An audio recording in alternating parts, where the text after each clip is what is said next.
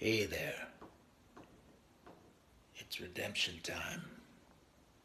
Hello there, Tom. I'm Curzon Dobell.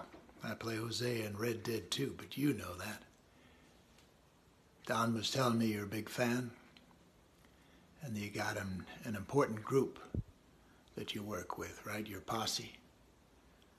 The Legends of the West, helping others out, right? That's what an anti-grieving group is, isn't it? One that helps other people, shows empathy. It's been a tough time, I guess, right? The last 14, 15 months. We could all use a little helping hand. A lot of people are hurting bad.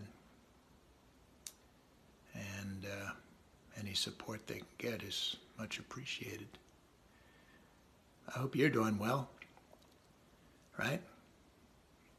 Staying active, staying healthy, getting outside, enjoying the springtime, right? it's a good time.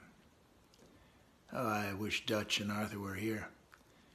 We could all just hop in a rowboat, go out and sing some songs, right? Maybe have a beer or two. Why not?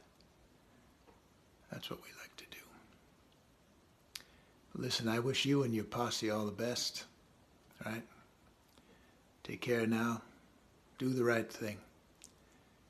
Enjoy yourselves and help others as much as you can. That's what make life, makes life worth living. That's the way I see it. All the best now. Take care. Outlaws for life.